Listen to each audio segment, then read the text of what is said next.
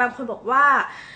เลเซอร์หน้ามาแล้วแบบอยู่ๆทำไมอยู่ๆผิวเข้มขึ้นหรือว่าอะไรเงี้ยจริงๆมันก็ไม่ได้ผิดที่เลเซอร์อย่างเดียวแต่มันผิดที่แบบถ้าเราอะเป็นคนดูแลผิวไม่ดี เราเป็นคนที่แบบไม่ได้ใส่ใจการดูแลผิวมากพอจิ๊บอะไม่แนะนำให้เลเซอร์เลย เพราะว่าจิ๊บเองอะปกติจิ๊บไม่ไม่เคยเลเซอร์หน้าเลยนะตั้งแต่เกิดมาแล้วก็มามีประมาณ 3 ปีที่แล้วไปทำ Ulthera ค่ะหมอให้ทำฟรีทำให้หน้ามันเรียวๆอะค่ะแล้วก็ปรากฏว่าทำเสร็จปุ๊บเนี่ยหน้าไหม้แบบ ยับเยินมากเพราะหมอไม่รู้ว่าเราไม่เคยทำเลเซอร์เลยแล้วหน้าเรารับความร้อนอย่างนั้นไม่ได้ ตั้งแต่นั้นจิ๊บก็แบบรักษาหน้ามาตลอดจิ๊บก็ไม่เลเซอร์ผิวอีกเลย เพราะว่ากลัวมากเพราะว่าเรารู้เลยว่าความร้อนมันทำลายผิวหน้าเรามากๆเลยอะไรเงี้ย เพราะฉะนั้นคนที่จะทำเลเซอร์ได้เนี่ยคือควรจะรู้ด้วยนะคะว่าเราเนี่ยเป็นคนดูแลผิวดีหรือเปล่า เช่นดูแลผิวดีไม่ได้หมายถึงการ cleansing อย่างเดียว แต่หมายถึงว่าเราทาครีมกันแดดแบบปริมาณที่มากพอหรือเปล่าหรือเลี่ยงแสงแดดในแบบ อะไรที่มันเหมาะสมหรือเปล่าอย่างเงี้ยต้องดูด้วยเพราะว่าการทำเลเซอร์มันคือการทำควบคู่กับการทาครีมกันแดดนะคะ ย้ำเลยว่าหลังทำเลเซอร์ต้องทาครีมกันแดดแบบมีประสิทธิภาพแล้วในปริมาณที่เยอะนะคะ เพื่อไม่ให้ผิวของเราเนี่ยเกิดเอฟเฟกหลังเลเซอร์นะคะ ไม่งั้นน่ะบอกเลยว่าเพื่อนจิ๊บจะมีหลายคนมากที่ไม่อดทนใช้ครีม อยากเร็วก็ไปเลเซอร์มาแบบเลเซอร์มาเป็นจุดๆๆไม่ไหม้กลับมาเต็มเลยแล้วก็เดี๋ยวมันก็จะแบบค่อยๆ burn ออกไป ค่อยๆ หลุดออกไปด้วยอะไรเงี้ยค่ะ สุดท้ายเนี่ยทุกวันนี้ฝ้าเข้มมากแล้วแบบรักษายากมากนะคะ เพราะว่าไปทำเลเซอร์มาอะไรเงี้ยเพราะฉะนั้นเนี่ยเลเซอร์เนี่ยจิ๊บอยากจะให้มันเป็นวิธีสุดท้ายที่เราจะเลือกทำอย่างเงี้ยดีกว่านะคะ แล้วก็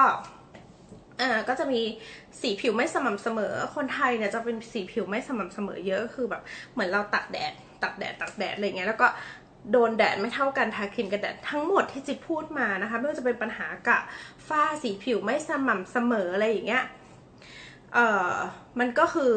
มาจากแดดทั้งหมดเลยนะคะ ก็ต้องระวังด้วย แล้ว IPL ทำให้หน้าบางไหมบางทั้งหมดเลยนะคะ กับการใช้ความร้อนลงบนผิวหน้า มันคือการทำให้บางทั้งหมดเลยอย่างที่จิ๊บบอกว่า แต่ไม่ใช่เราทำไม่ได้เราทำได้ แต่เราต้องทาครีมกันแดดแบบสม่ำเสมอต่อให้เราแบบนั่งอยู่ในห้องอย่างเงี้ย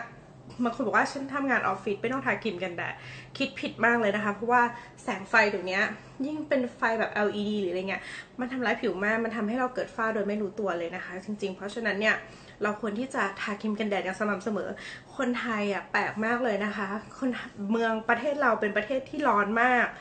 แล้วแดดแรงมากแรงเหมือนแบบเหมือนแบบนั่งอยู่บนโต๊ะแก๊สหรือเปล่าคือร้อนแล้วแบบแรงมากแต่ว่าคนไทยอะกลับนิยมรู้ไหมคะว่าจิ๊บอะ ก็แบรนด์แบรนด์จิ๊บมีครีมกันแดดใช่ไหมคะ แต่ครีมกันแดดเนี่ยเป็นตัวที่ขายได้น้อยที่สุดในแบรนด์ แต่ whitening กลับขายได้มากที่สุด นั่นหมายความว่าคนไทยอะไม่ได้ใส่ใจที่จะทาครีมกันแดดแล้วมันไม่ได้เป็นแค่แบรนด์จิ๊บนะคะ คือเวลาถามเพื่อนๆอะไรเงี้ยเพื่อนๆก็จะบอกว่าแบบเออกันแดดขายไม่ค่อยดีอะไรเงี้ยทั้งๆที่ปัจจัยทั้งหมดที่ทำให้เราผิวเสียเนี่ยมันมาจากแดดตัวเดียวเลย แต่ครีมกันแดดกับขายไม่ดีในเมืองไทยนะคะ แล้วจิ๊บก็แบบเหมือนไปหาข้อมูลว่าแบบเอ้ยกันแดดมันหรือมันเป็นแค่ของเราที่มันแบบ คือแบบมันไม่ได้ยอดขายแบบดีเท่าไวท์เทนนิ่งอะไรเงี้ยปรากฏว่า ลองขอขอข้อมูลเพื่อนจากแบบการที่ทำร้านมันจะไม่เอ่ยชื่อร้านนะคะ แต่คือเหมือนแบบร้านที่แบบเปิดเป็นเชลวางสินค้าอะไรเงี้ยทุกคนก็จะบอกเหมือนกันว่าแบบกันแดดเป็นตัวที่ขายไม่ดีอย่างที่จิ๊บบอกนะคะว่าแดดเมืองไทยและครีมที่เหมาะสมกับประเทศไทยที่สุดอะ่ะคือครีมกันแดดนะคะ